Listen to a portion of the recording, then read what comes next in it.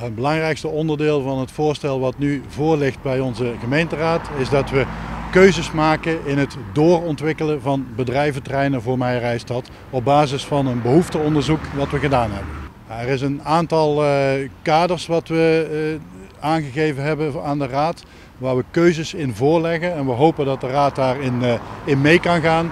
Maar het zijn keuzes bijvoorbeeld van hoe gaan we om met lokale bedrijvigheid en hoe gaan we om met bovenregionale aanvraag voor grote bedrijventerreinen. Nou, de gemeente heeft aangegeven in dit voorstel dat we daar in eerste instantie geen ruimte voor bieden, alleen wanneer het een toevoeging is aan het lokale ecosysteem.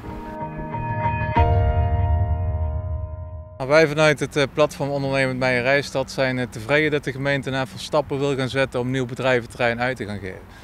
Uh, dat het misschien wat minder is in aantal en in volume dat wij nu denken dat nodig is, dat, dat, dat kan. Maar we denken ook dat er rek en ruimte in zit op het moment dat die behoefte groter is. Daarnaast moeten we ook aan de gang met verduurzaming en met misschien intensivering op bedrijfsgrond. Dus we denken dat het belangrijk is dat de eerste stappen genomen worden. Met name ook in de vier verschillende kernen waar bedrijfsgrond gevraagd wordt. Erp, Vechel, Sint-Oederode en Schijndel. Maar dat we ook gaan kijken wat zijn de volgende stappen. We moeten ook met elkaar vooruitkijken en niet alleen reageren op wat nu de vraag is, maar ook wat de toekomstige vraag zal zijn. En daar moeten we samen gewoon nog stappen in zetten. Maar we zijn eh, blij met deze eerste stap. Uh, de laatste jaren hebben we gezien dat er heel veel ontwikkeld is door vrijgekomen terrein. Ik denk dat Erp daar ook wel een voorbeeld in is. Maar we zijn toe aan de nieuwe stap en dat betekent dat molenakker 2 voor ons essentieel is om een volgende uh, voor, ja, uitbreiding mogelijk te kunnen maken. Dat zijn met name kleinere MKB-bedrijven die uh, of net gestart zijn en daarin willen opschalen, of bestaande MKB-bedrijven die nadrukkelijk door willen groeien. Dat zijn niet de bedrijven waar honderden mensen in werkzaam zullen zijn, het is met name lokaal georiënteerd.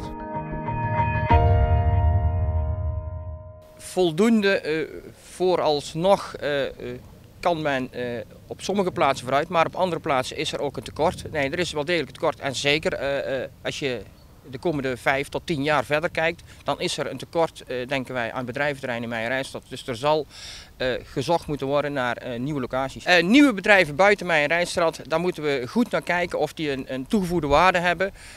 als dat wel zo is en daar is echt behoefte aan in mijn Rijnstad, dan is dat zeker een optie. Maar dan moet je wel zuinig op zijn op die gronden. Want belangrijker is dat die lokale bedrijven een plek kunnen krijgen in mijn Rijnstad. Waar we vooral positief over zijn, is dat het een terughoudend beleid is. We willen de bedrijven die hier al zitten, die krijgen kans om uit te breiden. Daar moeten we grond voor hebben, die willen we natuurlijk niet wegjagen.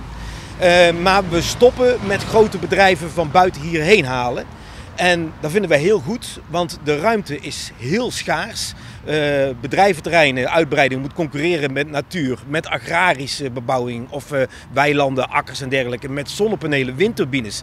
Dus er is best weinig ruimte, dat is één. En twee is, we zitten eigenlijk niet te wachten op nog meer nieuwe bedrijvigheid, want we hebben nu al veel meer arbeidsplaatsen dan we mensen in de gemeente hebben die dat werk kunnen doen. Dus als we nog meer werk hier naartoe halen, dan moeten we nog meer arbeidsmigranten hier naartoe halen. En daar moeten we weer de huisvesting voor regelen. En daar schieten de inwoners zelf echt helemaal niks mee op. We zijn erg blij met het voorstel, prima voorstel. Wij missen het onderdeel duurzaamheid. Met name de verplichting om zonnepanelen op daken te leggen van bedrijven, van nieuwe bedrijven.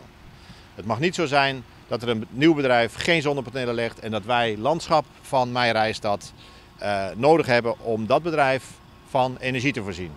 En waarom vinden wij dat zo belangrijk?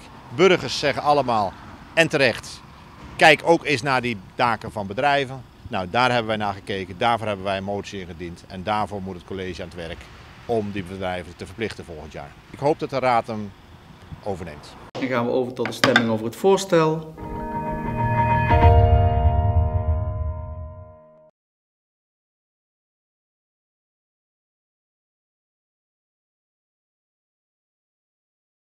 Dank u wel, dames en heren. Daarmee is dit voorstel aangenomen.